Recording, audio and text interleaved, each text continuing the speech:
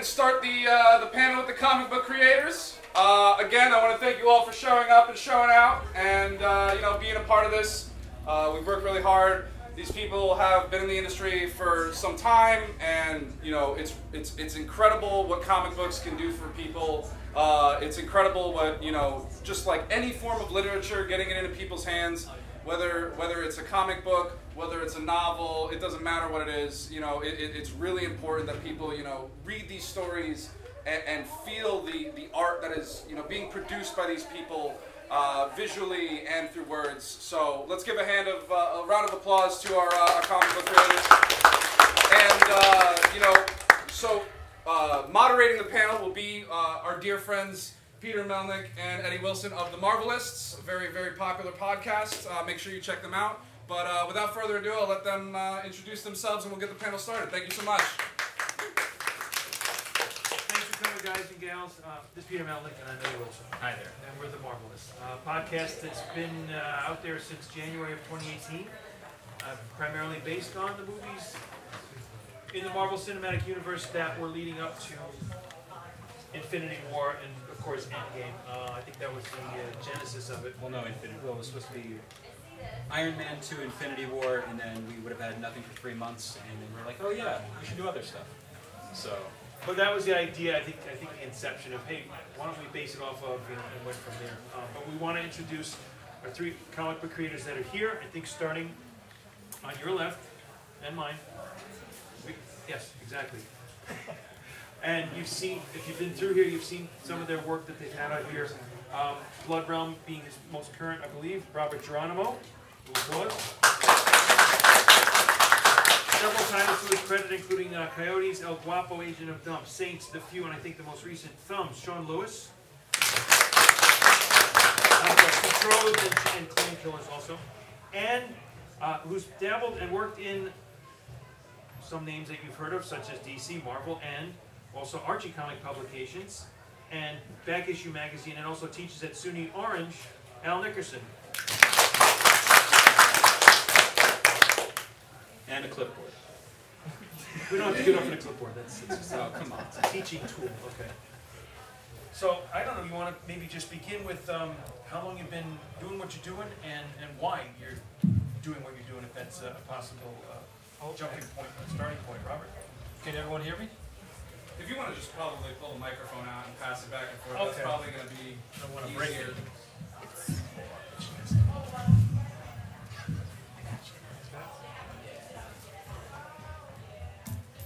Here we go. Okay. Testing. Good. Yeah.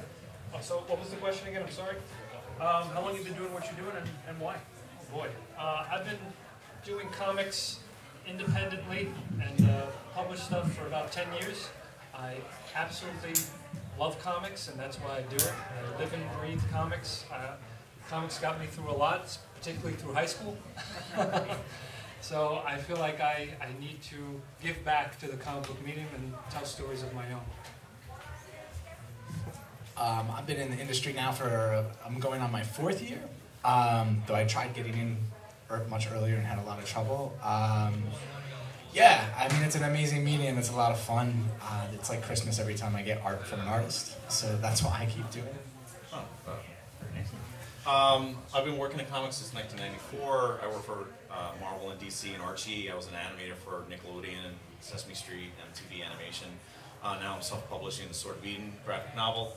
Uh, yeah, comics is a powerful literary form, and I think it's wonderful that nowadays that a lot of people are seeing that.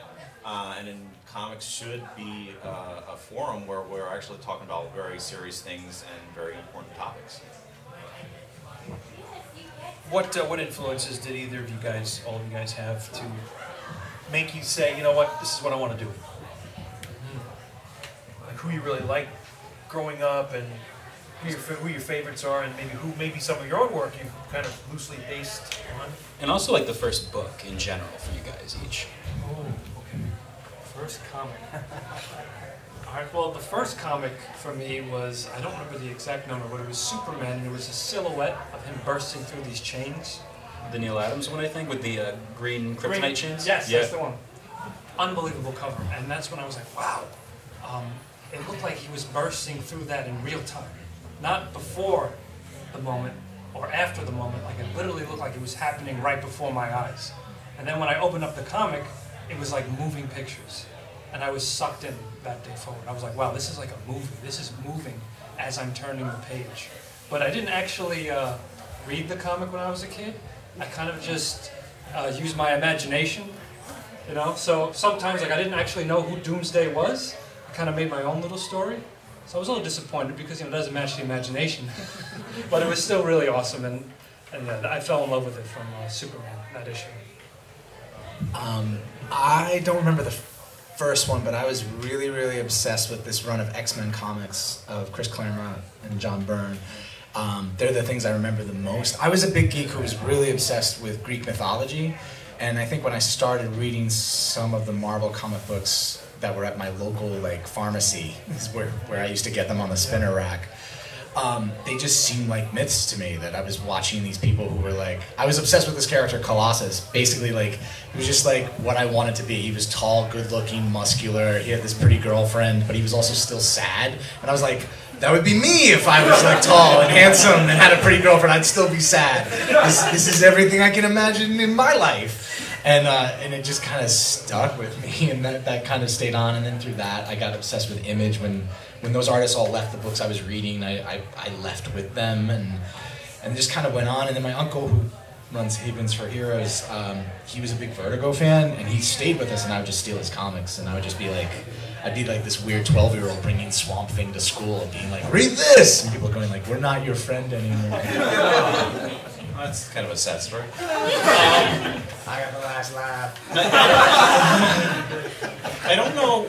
I can't. I don't know what the first comic I was. I do remember DC Comics. They had a Batman book called Detective Comics, and they had a backup story in there by Walt Simonson. It was written by uh, Archie Goodwin called Manhunter.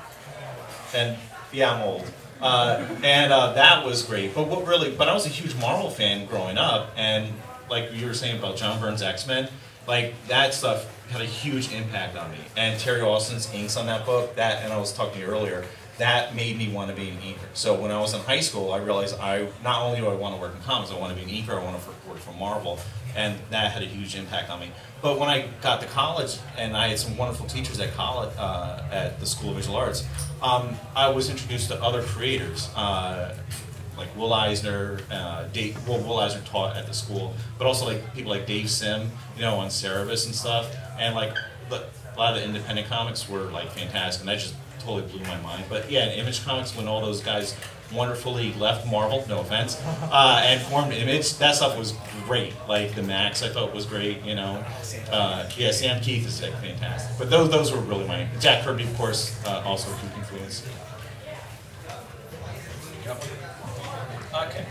With one of the current things that you're doing now individually, of course, like Robert for Blood Realm, uh, a little bit about the current thing that you're doing now, you know, synopsis, what it's about, that kind of thing. Sure. Oh, it, it's a dark fantasy uh, comic series which follows this war between the, this goat race and mankind.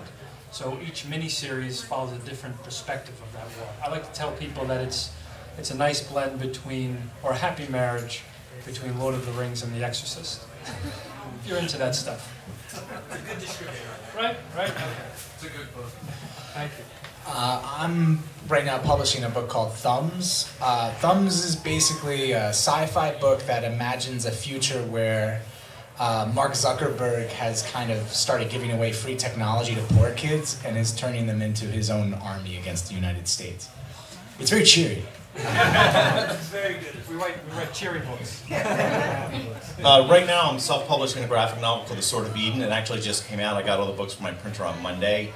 Uh, it's a 220-page graphic novel. It has very strong Christian themes to it. Um, it starts off uh, with a 16-year-old girl who has superpowers, and she starts her career as a superhero. And she's think she thinks she's doing God's will by fighting evil, uh, and, but she has like an eye for an eye attitude for things uh, of the world. So she's kind of rough around the edges. And she goes on this adventure, and she meets these other superheroes, and they search for the, the sword of Eden, uh, the sword that uh, the angels had used to keep men uh, out of the Garden of Eden, um, and they try to find this sword, which they think is a very powerful weapon. But there's there's these demons who don't want the heroes to find the weapon because they believe that if the heroes find the weapon, then uh, the world would have more evidence that God actually exists. So there's that conflict between the heroes and, and these demons. And then they try to search for Noah's Ark and all that fun stuff. Now, in regards to each of what you guys do, what is the your favorite thing about what you do and the hardest thing about what you do? See all the gears turning. Uh, you guys might agree. I feel like the part that's most fun is formulating the idea. You know, before you actually have to do it. You know, it's like you're thinking about the possibilities and you're getting inspired, you're listening to music and you're imagining how epic this is going to be. And then the hard thing is finally just putting it on paper, really doing it for real this time, and then marketing it, promoting it. I would say the promotion part is very difficult. That's something that people don't really talk about too much. Getting it out there and letting people, making everyone get excited about it. But that beginning stage is a lot of fun, right? I'd say the beginning. I also like. I do mean it. As a writer, I, I can't draw. So for me, every time I get pages sent to me from an artist on something I wrote, that is still my favorite thing because it's just like, it does feel like Christmas. There's also moments where I'm like, oh, they saved me. Like I, I wrote something not very good, and it, it looks real. I can do something with this. And it's coming to life. Yeah, it's totally alive, and they've imagined it. Honestly, uh, I mean, it's a collaboration, so like it's different than what I thought. But almost always, I feel like it's better. I'm like, oh, I wouldn't have thought of this, or oh, the background's alive. I hadn't even thought of like the world they're in. I should probably do that. Um, well, to answer your question, there's like two different perspectives to look at this because you can look at it at the work made for hire situation when you're working for Marvel or DC and Archie. I can give you my opinions about that, but I'll probably refrain. But and Rob knows what I'm talking about. But like what I'm working on now with the Sword of Eden self-publishing, I, I guess my favorite part is the inking. Like I still love inking. Like lay everything out in pencil and work in, in brush and, and nib and inking. I think the hardest part, I mean, you mentioned promotion from anyone's work. That's kind of difficult. I guess like when you're self-publishing and you're writing and drawing your own work, I guess you got to be a bit of a control freak, and maybe that's kind of how I am. Um, yes, Pastor John would agree with that. Um, the thing is, is that so the things that I can't control, like distribution, working with a printer, when those things are out of my hands and there are problems, that freaks me out. Um, but yeah, working on your own stuff and, like the inking part, I think is still my favorite part of making comics. You know. I could concur with the inking real quick because I used to do very tight pencils when I was starting out, and it would be very stiff. So when I would finally ink my work, it would be it would lose the, the energy. So now what I started to do now, I love having rough pencils and then letting the magic happen in the ink. You know, so this way there's that there's that life to it. So, so inking is drawing. exactly It's not right. just tracing, right? Of course it is. Yes. Actually, I want to go back to Al for something you touched on there. With your current work and having Christian um, overtones, undertones, or just theme, Mm. is that something new for you? And on that, and I've seen some saints comic books. Marvel's put out a couple things, whether it was Mother Teresa or Pope John Paul II, Saint Francis, that you find randomly. And, and I'm a catechist, so I teach this as well. And if I find them, I'm grabbing them. Uh, is it is it a new area for you to get into with that overall thing theme? And do you see much I don't know proliferation of the Christian comic book type of thing? Uh, is it new? I, I don't know if it's new because the Sword of Eden used to be a downloadable digital comic several years ago, so I wouldn't say it's new. Um, but it's new in the sense that it's in the printed collected format that just came out. Um, it, it's it's weird because I am being completely ignored by the secular comic book industry, uh, which, which is fine, you know, and I, I totally dig it. I, I totally understand that. So, but my audience is the church, you know, so when I connect to that, actually it works out fine. The but the good thing also though is that I don't, well, I don't know if it's good or bad, but like the Christian comic industry, I don't know if there's really much of an industry in that. You know, I, there's not a whole lot of Christian comics out there, and if there are, they're not all that great, and that sounds terrible. I would think that maybe it's getting the youth uh, to know about religion in this respect. Maybe if nothing else, uh, not not as a tool to read comic books, but it's got to be out there for. Well, I, I certainly think there's an untapped audience there, um, and I, I think that's very true. Um, yeah, so I don't know if that exactly answers your question or not, but. But is it your first, if you, if I missed it, I apologize, but is that your first foray into going that way? Let's say, you know. Uh, well, this project maybe. I mean, because I spent decades, well, well, 20, 25 years, you know, working in secular comics, and I just got tired of working on Jughead or drawing the Justice League and stuff. I, I'm sorry. Um, so I wanted to do something, and I've self-published stuff before, and I worked on creator-owned comics before, even like some of these uh, characters. But I, what I wanted to do was to give back to God and create something that had very strong Christian themes in it. So I think that's probably the genesis, really, of the Sword of Eden, even though some of those characters have appeared in print before. Gotcha. Now, Sean, you had mentioned that you're a fan of you know mythology and stuff like that.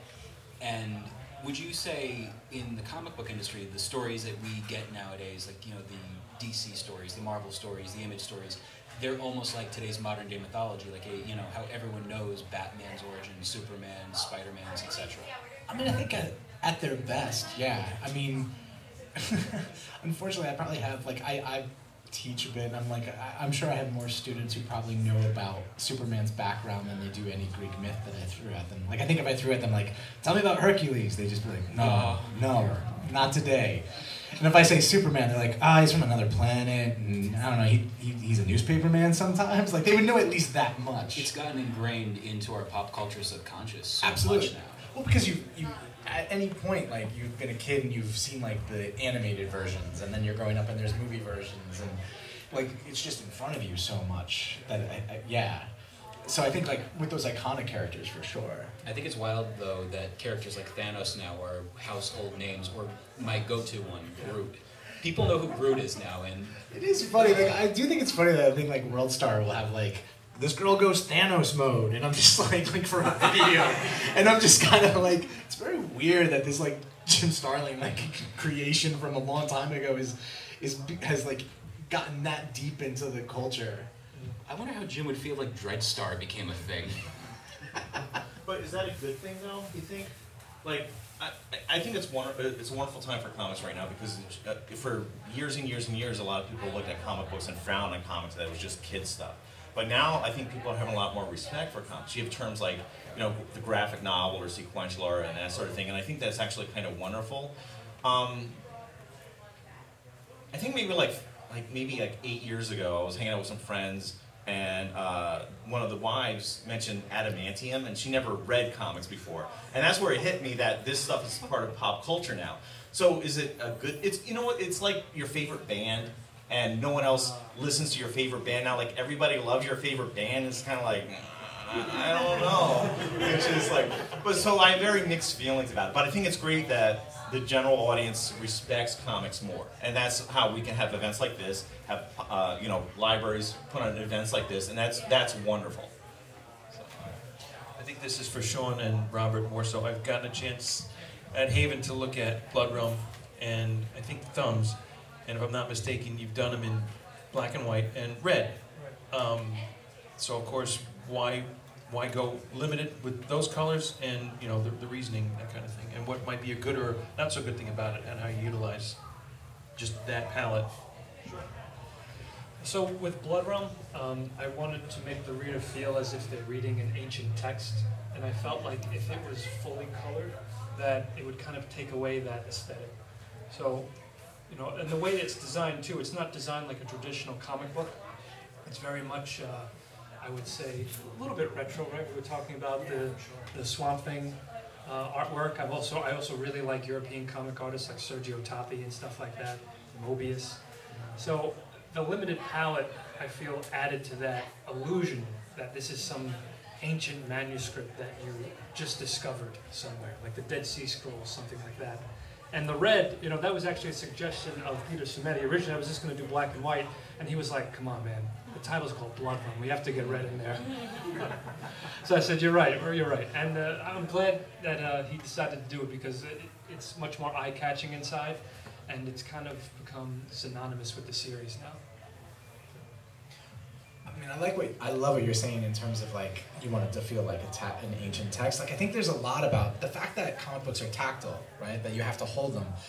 I think there's something like theatrical about them in the sense that like they can give you an experience when they're really thought about it. Like I, like I can make this like a scroll if I want if I want to. I mean, getting a black or white comic published at a publisher is like very hard.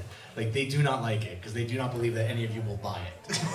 like we hear that immediately. So with thumbs, I mean, we were Hayden Sherman, who's the artist on it. We were talking about what's the experience of this book.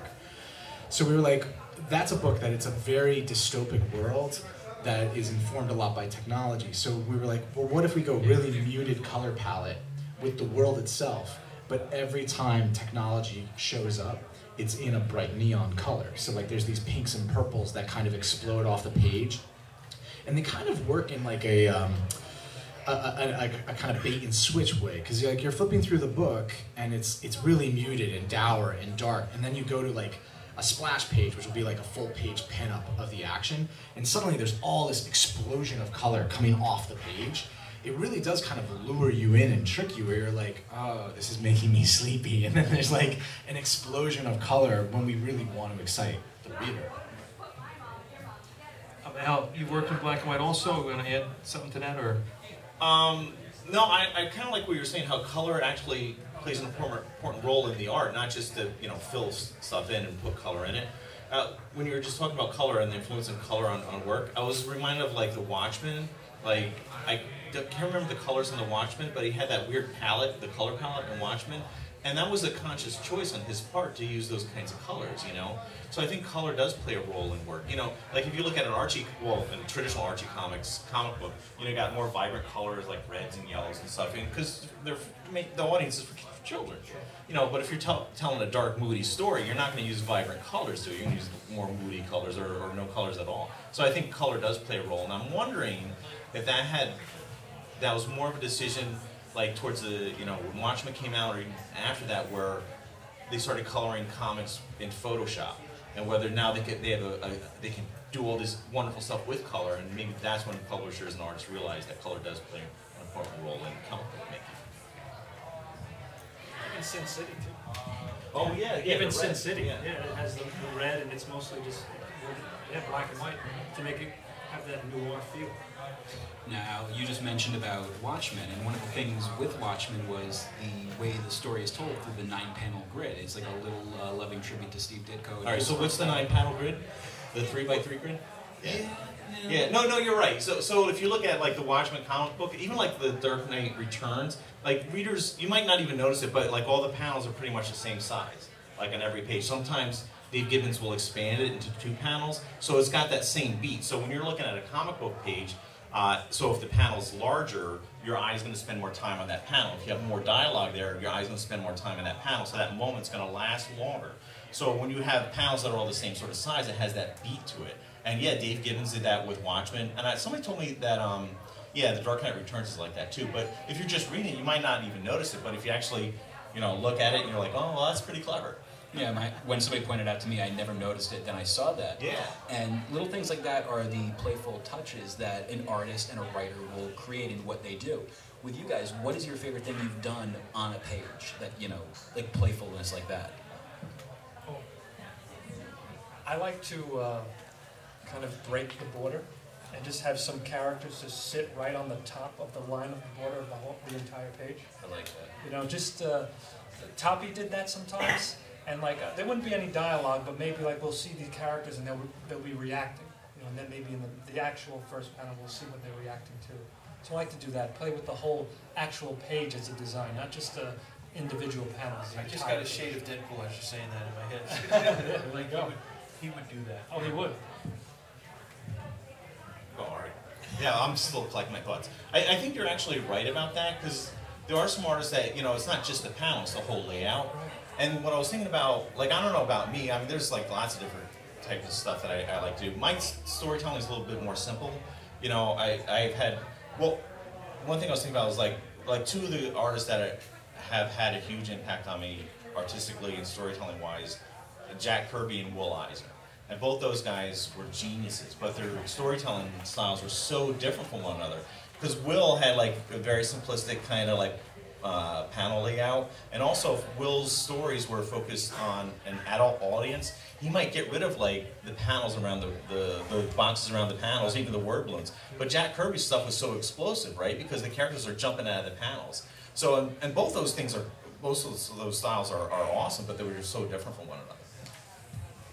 I think as a writer, it's a little bit different because I have to. I think of the page differently, right? Like I'm, I'm not a visual artist, so I'm, it's it's a much bigger jump for me. But there's definitely so a lot of times it's like um, the things that jump out at me is like so like when you do a nine panel grid, three by three grid, or anything above that. I mean that's an information based page to me as a writer. I'm like, oh, there's a lot of I'm getting nine panels of story. Like that's gonna be a, there's gonna be a lot of story in this, which also tells me as a writer in another page or two, I need a splash page that's gonna explode the story. Like this is all the ignition, and then in two pages we're gonna light it on fire.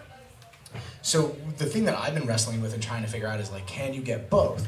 Can I get a set of pages that have a lot of information and story, but still be the fire?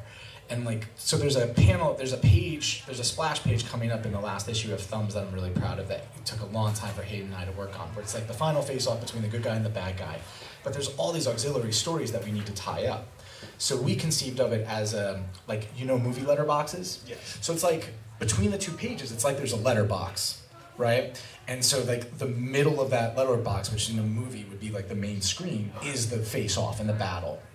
And then what we did is where the blacks, the negative space would be in a letterbox. And when I say letterbox, I mean when you watch movies where like the top and the bottom are black lines and then the image is just running in the middle. So where the black lines would normally go, we split those up into separate panels of all the auxiliary stories occurring. So you're seeing the face-off and the war happen and what, what like all the consequences and the stakes of the war and all these mini panels on the top and the bottom. And that was one where it was like, it took us forever to figure out how to do both. But once we once we did and once I saw it, I was like, oh, we got it. like this is amazing. So, so like I think in that, for as a writer, like because I can't think visually, a lot of times it's how do I communicate to the artist? Like, we we re- how can we really need this to do both, and then and then hoping they don't kill me. Uh, any other future things, uh, different directions, maybe ultimately where you want to go? And if it was totally up to you, and in some cases it is, what would you like to be uh, creating or working on, or at some point, not a bucket list, but some point. A dream down the gig. road?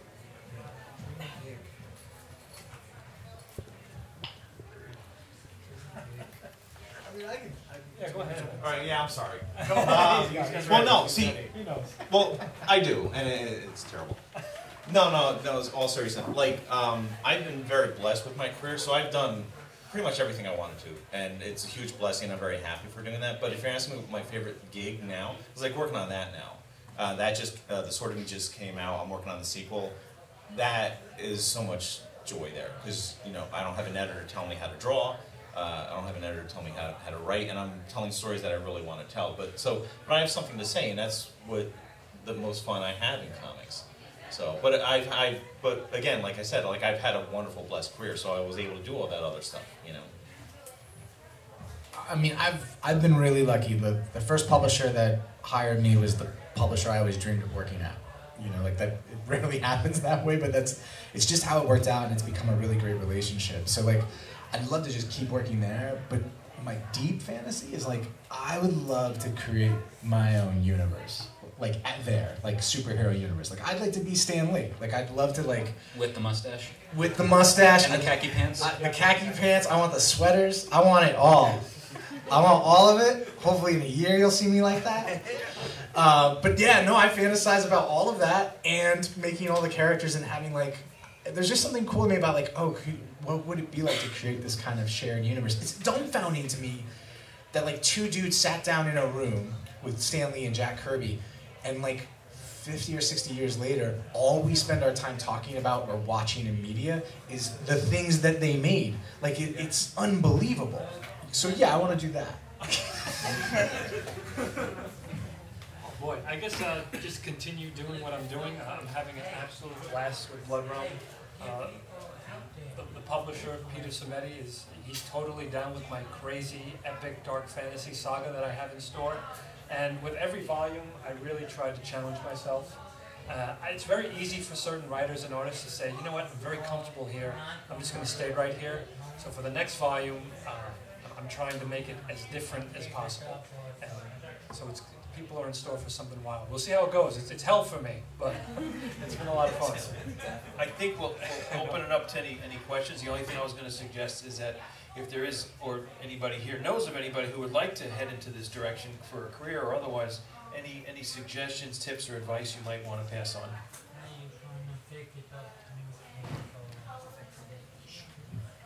make a book. Like just start making books. Like people ask all the time, like, how do you get into the business? How do you get into the business? Like there's a like some weird magic like lock to it. One almost everyone's story of how they got into the business or where they are is very different, but there's very few of them that I've ever heard that don't start with I worked with a friend and I made a book, or I wrote and drew my own like, you know, small comic, like one page comic. Like I just think make, making things and getting better is is the constant. Yeah, I think you're right. The product happens first. You gotta love doing it, and when you produce work, then people will come. But since I also teach, you know, we talk about the business side of working at comics and animation as well. So you, you gotta love doing what you're doing. You gotta keep at it. You have to be persistent because, like, even if you want to work for these huge publishers, you're gonna get tons, dozens of um, rejection letters. But you gotta keep at it, and then things will work out fine. But you gotta keep loving what you're doing and keep uh, creating the work. And then you have to also be a very smart business person. We were talking about that earlier. You got to learn how. You know, you do. Like, there's a lot of artists that just want to write and draw, and that's totally cool. But if you want to have a successful, uh, you know, career in anything that's competitive or in entertainment, you got to be a smart business person. You got to know how to submit work, and I got to have to understand how contracts work and all that sort of stuff. Yeah, I mean, if it's any consolation, I mean, uh, Jerry Siegel and Joe Shuster, the creators of Superman, were rejected for five years. And the creator of Dick Tracy had been submitting uh, ideas to the newspapers. He was rejected for 10. Until finally they said, this Dick Tracy thing is awesome, let's roll with that. And then there you go. He didn't stop. Uh, yeah, I think we want to open it up to the uh, viewing audience if there's any other questions.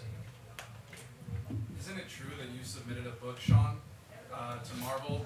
Uh, what was it, 12 years ago now? Maybe even longer ago. 2000. Just you want to tell us a little bit about that book? I didn't submit a book. There was a contest. So it was 2000. I don't know why. I don't know if Marvel was doing. You guys would probably know the history of this better or not. It was right when I was out of college. You remember this because I was sleeping on your couch, on your dad's couch, for like most of that year. And um, I, yeah, they, I was, I, my background's in theater. I had been writing plays, and I'd had a little bit, clearly not a lot of success at that point. I've had more since. Um, they had a contest for for writing comic books. I sent them in a couple of play ideas. They they didn't like them. But it's right when they hired like Robert Aguirre-Sacasa, who's also a playwright. Yeah, and uh, he worked on, I believe, uh, Fantastic Four for the Marvel Knights line. Right, exactly. So I think whatever they were doing was tied to that because he came out of that at that at that moment. Yeah, there's no one else to ask. all right, so uh, all right, so so I guess to, to, to branch the question off to everybody else, uh, what's your biggest failure and what did you learn from it in the industry? What was like the worst thing that happened to you in the comic book industry, and what did you learn from it? I was right in. Yeah, I was in immediately. No, see, I gotta be very careful with what I say because I don't want to. No, no, I mean I don't want to because I because I gotta be I, I do have to be careful because I don't want to like there are fans of certain publishers and comics and I don't want to sort of like uh, kill any of that. I think. Uh, I guess what I would say that the worst thing I ever. The, I think the worst thing I ever did. I, I think no, or that happened to me. I I think pro. Oh. no, because there's a lot of things going through my mind. There, there are there, there are plenty. So There- narrow down your, your, there, there, your, there's your most painful, your most painful failure. I think he understands. I think no, no, no. no I gotta, I gotta see. I gotta, I gotta pick one. Um, all right, he- this, this is when I, when I first started working in comics. It's, it's before I started working on ElfQuest. You punched Stan Lee. No, actually, I may have done that. Um, uh, there was an inker by the name of. I probably shouldn't say his name. Uh, and I, I met him, and he needed. He had assistants inking the backgrounds of his books. Uh, this is before I started working for ElfQuest, and he hired me to, and it was the only assistant job I ever did, to work on a Bugs Bunny story for DC. It was six pages long. So I inked all the backgrounds. I got no credit, of course, and he inked all the main figures. So when he got the artwork back from me, he started complaining and started ripping everything apart, saying how terrible it was. And he gave me less money. He gave me a kill fee. That's the only thing that, that's the only time that ever happened to me. Only time I ever did assistant work. When the book came out and I looked at the artwork, he didn't change anything. So yeah, and uh, the other thing is like the arch, uh, the contract I signed with Archie Comics is terrible. other than that, you know, I think. But everything else has been wonderful. There's like I've worked with a lot of wonderful people. I've had a wonderful career. I've done all the things I really wanted to do. But that goes to the conversation we're talking about, like the business side of things. You just got to be a smart business person. Yeah, I guess it was more of a learning experience. When I was starting out, no one taught me about contracts, and we were talking about this briefly. Um, I did work for a company, a company that's not around anymore, Moonstone Books. Uh, for about a year and a half, I worked on this book, and I signed a contract that I would get paid when the book would be in print. They were basically bringing back all these 1930s characters, like the Phantom, Secret Agent X, uh, the Shadow, and all these guys. And then the company did really bad in 2010 and basically folded and I never got any payment for that work because it was it wasn't in print. So that was a big learning lesson. So read that contract, protect yourself, because you don't want to Money get cash up front. Exactly. Sean? Any failures? Oh, a ton. this is the time. I mean, so many. I mean, the contracts is a big one. The contracts are often bad. Um, which doesn't mean you can't negotiate them. It doesn't mean that you shouldn't talk to other collaborators or other people in the business. Like, like actually, things like this I think are great for us because we get together and we're like, "Hey, what did you hear about that publisher?" Like, when you see us talking to each other, that's literally what the whole thing is.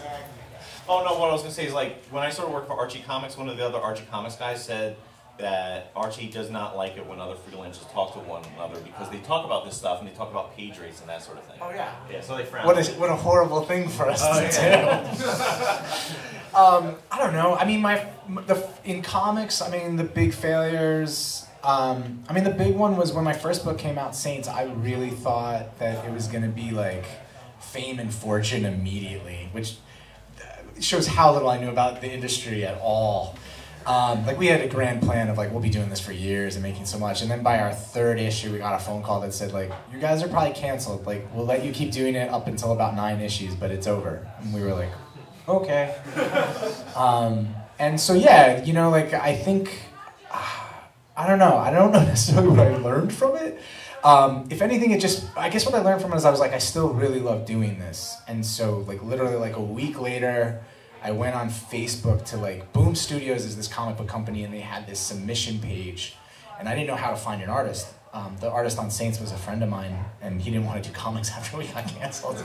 um, so I was like, I need to find more artists, and Boom Studios had this weird submission page that I don't think they ever looked at. So I scrolled through it, and the next two comic books that I did, Coyotes and The Few, I found the artist for that on the same weekend and contacted them, and we did these books that have been way more successful. So perseverance, I mean, is is good, and also knowing if you want to go through the ups and downs of this, because the downs do suck.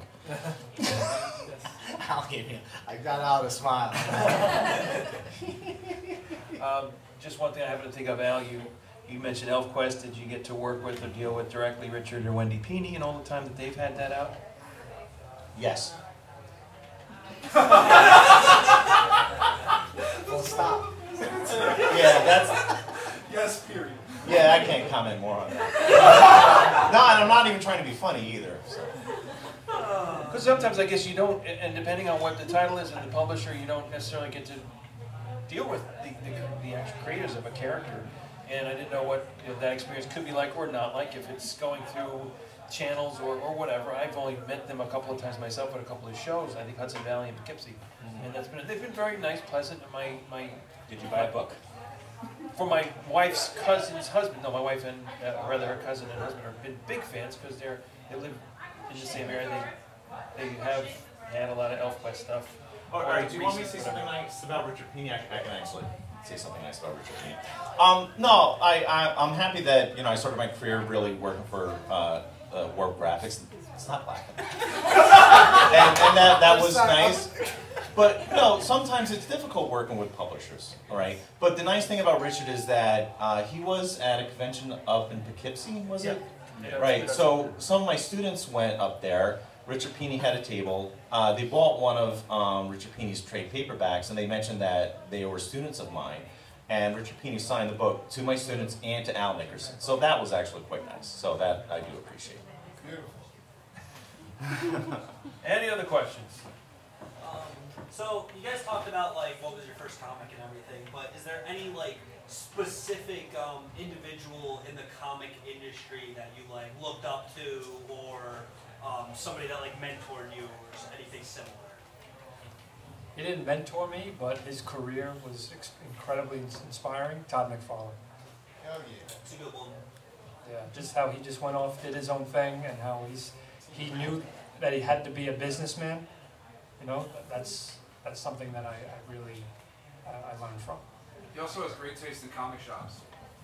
Really? We have a video of him saying that he loves Haven for Heroes. That's awesome. Yeah. Fantastic. Uh, well, I, I I would probably have to mention Will Eisner. Um, I didn't know much of Will Eisner's work when I was in high school, but when I went to college and he was one of my teachers for three and a half years or three years, um, that yeah, he was a, a great mentor and he was just a wonderful guy. So, but like in those days, it was kind of like, ah, it's just Will, you know. And then you and then you realize the impact he has on comics, and he was wonderful. So he was a wonderful teacher and a mentor. I mean, I think on the business level, all of the image founders are are huge to me, and I go back. There's a couple of documentaries that came out on them because of their 25th anniversary. That whenever I'm really depressed about the business, I just sit down and I watch I watch them because I'm just like, right, they did it. They're here. Yeah, we can do it. Um, and then as a writer, you know, Claremont still sticks with me. Like what he was able to do with X Men and for so long, like seven, 17 years or something is just unbelievable and how he brought this like human element to all of those characters. And Warren Ellis is another person who I look at who's just kind of done his career the way he wants to do his career. And I think that's the big thing for me, I, I- probably for all of us. I mean, we're all doing independent books. Is that there's a level of like, I want to do this my own way. You know, so those are the people who jump out as like, yeah, that's somebody to kind of follow. Now, who's like a non-comic book influence you guys have for what you do? John Lennon. Love his music. Such a peaceful, such a peaceful musician for a guy who writes a book called Blood. Well, he also wrote uh, My Mummy's Dead. That's true. The duality of man. There you go. Um, I think a big influence on me is uh, there was a theater director in the 70s and 80s in New York called Joseph Papp, who he started the Free Shakespeare in the Park in New York City uh, and the New York Shakespeare Festival Public Theater. Just like he was really socially inclined, he was very much about like how do we make access to people, and also he did he was like a badass, like he did all, all on his own. Like there was all these Broadway theaters and they wouldn't do a certain type of work, and so he took over the public and was like, you know, like seeing Shakespeare done this way or with this type of people or a diversity of cast, he's like, I'll fund it myself. And he would just kind of do it It's very punk rock DIY. hugely. Yeah, for sure. Oh, sorry.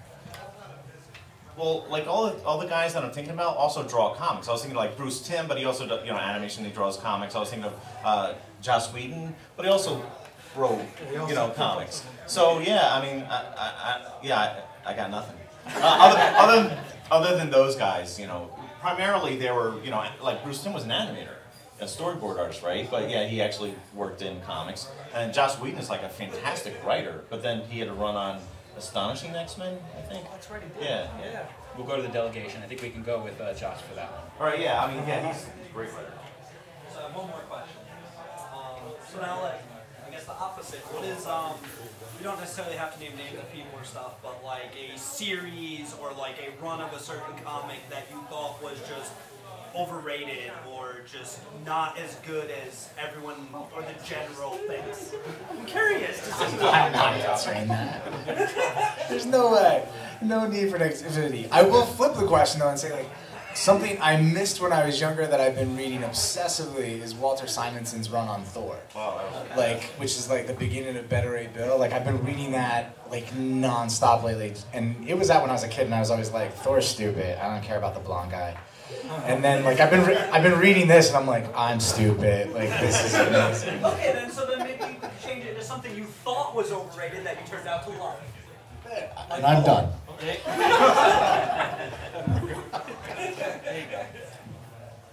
I, yeah, I don't know. I, I can't. Nothing comes to mind really.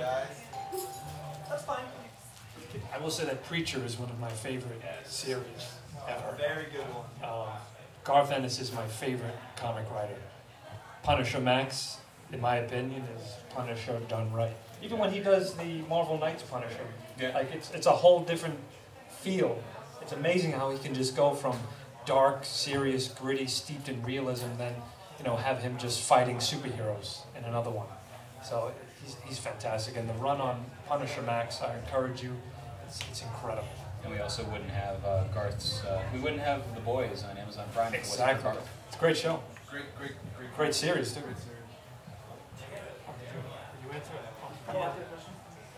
Um, this question was sort of asked, but since we're in a library, I was wondering if you had a non-illustrated book influence or recommendations.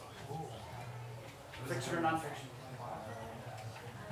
Uh, I'm, I'm currently reading, I'm, I'm more than halfway through Dune, the original by Herbert, and it's, it's unbelievable. Well, master world building. Fantastic.